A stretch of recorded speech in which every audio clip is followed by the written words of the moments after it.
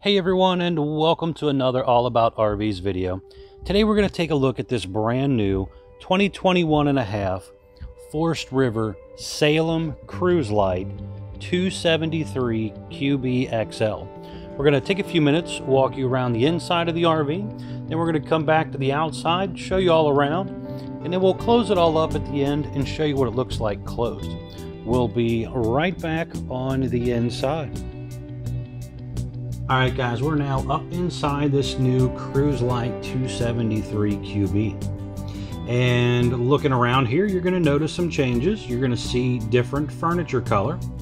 So a little bit uh, lighter, brighter coloring of the RV. And also it's got a little bit more of a uh, boat look to it. Um, that's one of the things that kind of reminded me of a little bit. Forest River has a boat manufacturing plant as well. And it kind of looks like something they use in their boats. Pretty neat looking, a little different. Also, you'll notice new wood color and trim work and stuff like that as well as we go through the RV. Little accent LED lighting up above the uh, slide there. Now, the unit has the Versa Lounge, and basically this sofa slash dinette section can be maneuvered around differently. So the sofa will fold down, make into a bed, if you're not using the dinette and you want an extra little bit of seating to point back toward the TV, the back of the dinette there will pop off and flip around to put the back against the table over there, giving you a little extra seating area. The storage door below the uh, sofa there will flip down and you got some little storage box trays in there. And Below the U-shaped dinette section, you also have some storage in there as well. Nice big windows throughout the slide, giving you kind of a panoramic look. And then you also have a little bit different shade color on the pull-down roller shades, along with the uh, valances as well.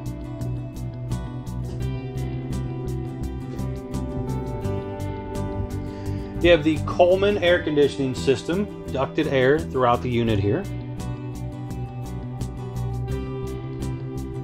On the side of the cabinet up here, you have your control panel, which has your slide in and out button, the awning in and out button, some light switches, water heater gas button, and your monitoring panel and your water pump as well.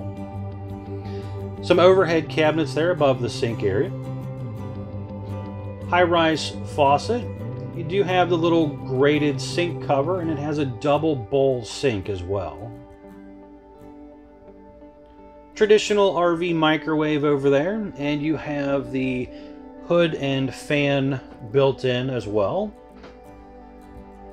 And this is another change up. They went to a Dometic gas oven with a three burner cooktop and then a cover that actually flips back and kind of acts as a big backsplash as well. You do have two pull-out, full extending ball bearing drawers. And you have some storage below the sink area there as well. Now, below those drawers and below that uh, oven, there's two access panels that will come off so that you can get inside of there and access like the back of your water heater and maybe a water pump, those type of things. So that is some access paneling underneath of there. Now, here is the Everchill 10.7 cubic foot 12 volt refrigerator. Nice refrigerator, holds a lot of capacity there. And again, it's black, just kind of matching the oven that they have went to. Going on back here to the back, you have your digital thermostat for your air conditioner and your furnace, controlling that. And just below that is the propane slash carbon monoxide leak detector. Over here you have your electric box with your breakers and fuses. And then you have a little closet area and a pull-out drawer as well. Now on our left here is going to be our bathroom. We'll pop up a couple pictures of this so you can see this a little bit easier. Um, but you do have the little corner shower area here with uh, does have a little sliding vinyl door there. and it's attached at the top and bottom, so it's a little bit uh, a little more functional and does it's a lot less likely than just a curtain to pop out at the bottom and leak while you're trying to shower. A little bit of storage area below the sink and a traditional medicine cabinet there, and then you also have a little fan up top and a little skylight up above as well. So kind of gets the job done. It's not the biggest bathroom, but again, this isn't the biggest camper either, but it does kind of do well for this size of an RV. Now back here is the little kids room. You have bunks on both sides here. Again, we'll pop up a few pictures of this to make this a little easier. But it's got kind of an L shape to the bunk sleeping area. You have USB charger ports up top. There's two, one on each side for the bunk area. And then you do have USB charger port there. And then you got a little sofa, so during the day you could uh, kick back, relax. The kids can watch some TVs, play a game on a rainy day or whatever. That does flip down, make it to a bed, and there's also some storage underneath of there as well. Now going in here, there is a little TV hookup area right here. You do again have ducted air in here as well. And you have a little hanging closet area or storage area, whatever you want to use it for.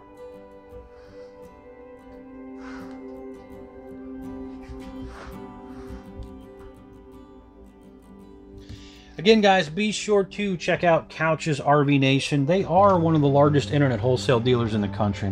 They will definitely save you guys a lot of money on a new RV if you're interested electric fireplace down there, which is kind of a fancy electric space heater, but pretty cool feature to have. Just kind of looks nice.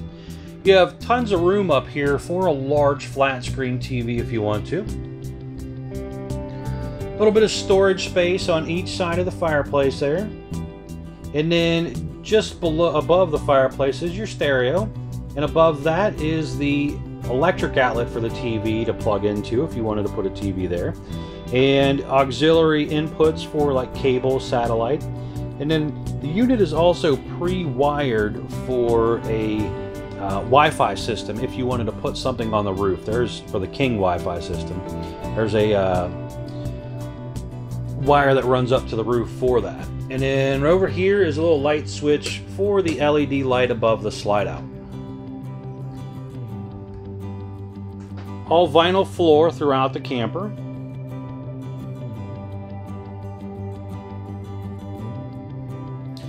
And up here is going to be your master bedroom area here.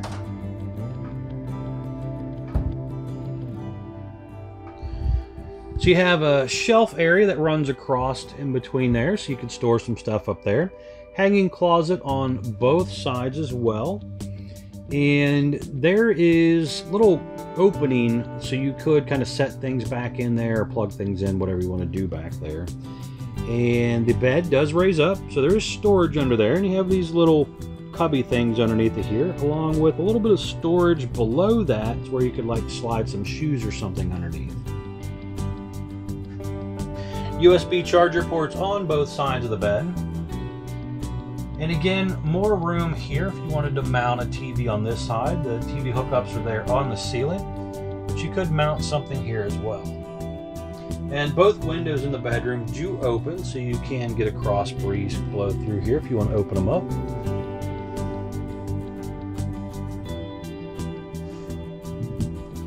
But overall, pretty cool new look for these guys. Uh, very affordable, lighter weight style of a bunkhouse family camper here, guys. Uh, we're going to go outside, show you around the outside. Got a cool little outdoor kitchen there. Uh, and then we're going to come back in. I'm going to show you what this all looks like closed and how that works as well. So we'll be right back on the outside. All right, guys, we're back on the outside of this new Cruise Lite 273 QB here. And we're going to start here in the front section, kind of work our way around, and then we'll head back inside. Up front here, you have two 20-pound propane tanks, which does have the hard ABS cover with the flip-up lid, so you can access the on-off knobs a little bit easier. Power tongue jack with a built-in LED light and a manual override in case of an electronic failure. lower diamond plate metal across the front. And then you have a smooth two-piece aluminum section across the front with a nice arch roll back to it just to kind of give it a little more wind aerodynamics when you're traveling down the road. Got a nice roll to the front. That also allows them to push the bed forward more and also the storage can come out a little bit more instead of the traditional flat front RV that some brands still do. So a little bit nicer setup there. Uh, 2 and 5 16 hitch ball, safety chains, breakaway cable, all that stuff is there, which is all on pretty much every RV. Um, you have a seven-way Bargmann plug, which controls your lighting your brakes and turn signals and stuff. Again, pretty much on all the big RVs. Uh, there's a little hook on the side of the frame that the safety chains can attach to for storage purposes. It's kind of nice. Um, the power tongue jack also has an adjustable foot pad to give you some extra length if needed. Now, this one again is going through the service garage here. Somebody already purchased it and they are getting it all serviced and prepped and ready. But you see the little Blue Ox hitch brackets on there and some of the stuff laying on the floor here. This customer's going with the Blue Ox Sway Pro hitching. Very nice hitching, real easy to adjust on the fly. Um, back in behind there, you can also see it'll come with one Deep Cycle Interstate battery from Couch's RV Nation. When you buy from them, comes from uh, the factory with none. So wherever you do buy from, make sure the dealer at least gives you one. There's room on some of these models to put two if you wanted. There's also a battery disconnect back in behind there. So when you are putting the RV in storage, you can disconnect the battery so it don't just go dead. Now, looking down the side of the RV here, you may notice that it is a little bit different color than the early 21 version. Uh, and that is in part due to texture change of the metal. This is a much smoother metal. It's a little bit more like the front style, where the earlier version was a kind of a rough textured metal. It's a little different looking.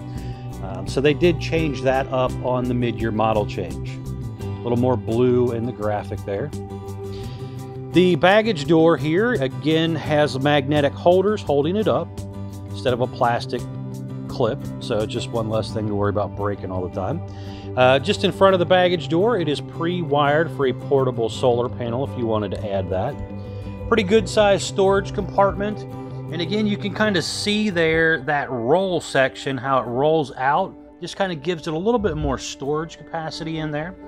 And then you can also see some of the stuff there for your jack handle, the little uh, socket piece that will go into a drill, if you get you a nice cordless drill, something like this, that you can actually stick right on the end of those jacks, zip them down, and they have the JT strong arms for extra stability there.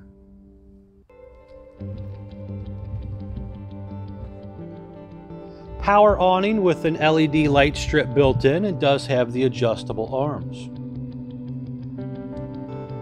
You have the heavier duty solid step here with adjustable legs, but they come down, touch the ground, and they're able to hold more weight than the traditional hover step. Traditional RV entry door and screen door there. Water heater located right here. Freshwater tank fill up is also located right there next to the water heater. And directly down below, you can see the white handle down there. That is your freshwater tank dump. It's the inch and a half dump, so it will dump out a lot faster than the traditional uh, half inch water line drain that some of them have. Two outdoor speakers, you can see they're lit up blue. And then you got your stove exhaust there just above the window. And a nice big window here as well, and that window does open. Dual axle, traditional leaf spring axle system furnace exhaust just in front of that, uh, or just above that first tire. Now back here in the back, just behind the awning arm, you have a cable outlet and an electric outlet right there. So if you wanted to put a small table out here or something and plug in a little TV, you could do so. Kind of sit outside on the nighttime, watch the game or whatever might be on while you're kicking back, relaxing by the campfire. Just below that is the low point water drains, hot and cold. That is, again, more for storage or winterization purposes. Just allows you to open those up and let some of the water that's in the water lines kind of drain out. You do have a pretty cool little kitchen back here. So you have a little camp griddle. This is a suburban griddle back here. A little bit of counter space up above and then you have a little mini fridge. Now the mini fridge is by Everchill and it's strictly an electric refrigerator, so it doesn't work off 12 volt or propane or anything like that.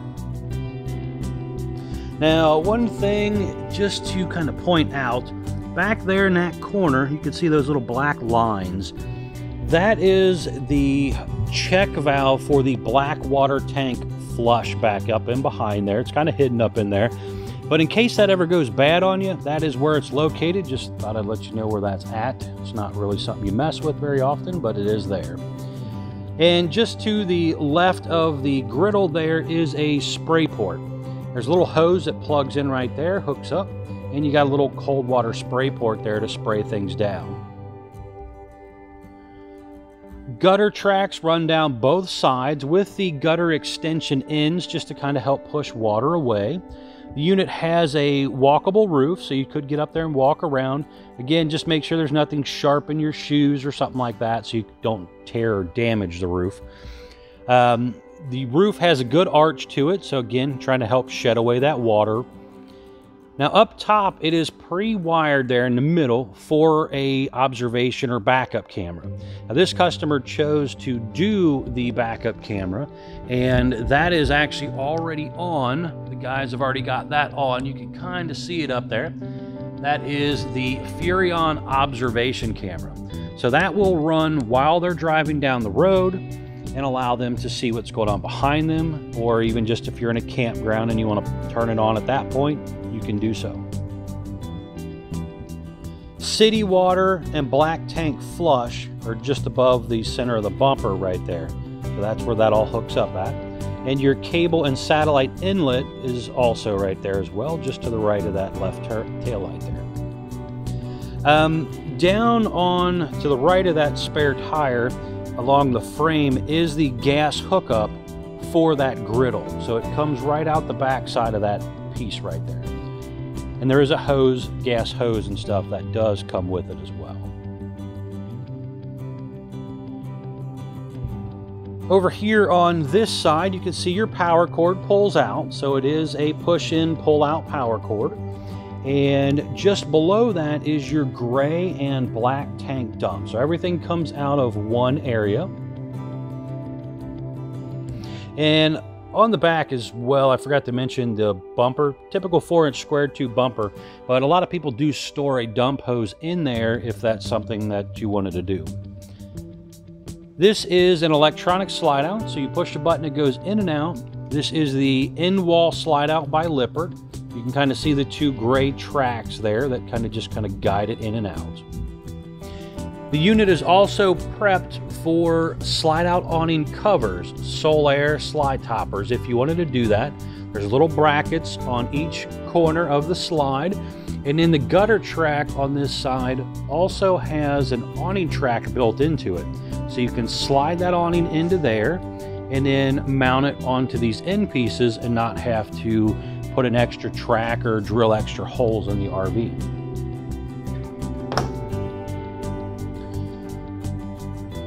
Now here you have the other side of the storage compartment. Now we're going to pop up your weight stickers here. So you're going to see pop up your gross vehicle weight sticker, which has your production date, VIN number, axle sizes, all that type of stuff on there. But it tells you your gross weight, which is the most the axles and hitch weight hold combined. Um, next is going to be your unloaded vehicle weight, which basically just tells you what the RV weighed when it rolled off the factory assembly line. You're going to see your cargo carrying capacity sticker, which again tells you how much weight you can add into the RV before you max it out and possibly damage things. And then you're going to have your tire sticker pop up there as well. And again, that is basically just kind of telling you your tire size and the proper pressure for the tire. All right, guys, we're going to head back inside, close it all up, show you what it looks like closed. We'll be right back. All right, guys, we're now back up inside this Cruise Lite 273 QB here. And I uh, flipped the Versa Lounge into lounge mode. Just wanted to kind of show you what that looks like. Also flipped down the little storage area and popped out one of those little tubs. So it does come with some multi-tubs there that you've seen earlier in the pictures, but just thought I'd open that up for you. Now, when you're ready to run the room in, the button's right here. So all you gotta do is push the button to bring this thing in. Again, it is an electronic slide, so you push a button, it comes in and out. Um, if it does fail electronically for some reason, you could manually do it. It's honestly a little bit of a pain in the butt to do, but it is something that can be done if needed. Um, Lippert, who makes this in-wall slide out, has some really nice, helpful videos on their website to explain that in case it ever does happen to you. That's lci1.com, lci1.com. Now, here you can kind of see what it all looks like in. So when it does come in, it butts up fairly close to that bathroom wall. So if you were to put the table in bed mode, you could or the kids could kind of squeeze back into their bedroom area. It would be possible. Uh, but getting into the bathroom, on the other hand, is not possible. So you would have to bump it out to get to the bathroom for travel purposes. Uh, but you can walk right on around here. You can kind of scoot around and get back there if needed for like the kids' room. Now for the adult bedroom area and stuff, that is all right here. So you have full access to just kind of come in right here. No big deal. And then when you're ready to take it out, when you first get to the campground, all you got to do again, hit the button in out mode. And the slide out will start to slide out. Um, one thing too, the slide outs all do have rubber gasket seals and stuff like that around them. Uh, it is a good idea to occasionally spray some treatment on that and just kind of keep them to where they're nice and soft and conditioned and stuff. It's kind of like armor all in the dashboard of your car kind of thing. Just something that you want to take care of every now and then and just kind of make it last a lot longer. But real simple, in and out situation there. Again, guys, thanks for checking out the video. Check out Couch's RV Nation, guys. They will save you a ton of money.